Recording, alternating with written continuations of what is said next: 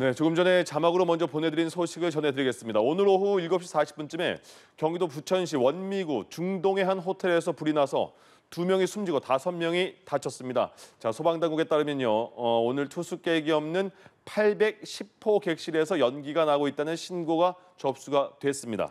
네, 소방당국은 현재 대응 2단계를 발령하고 구조 인력 153명과 장비 46대를 동원해서 화재 진화와 구조에 나서고 있습니다.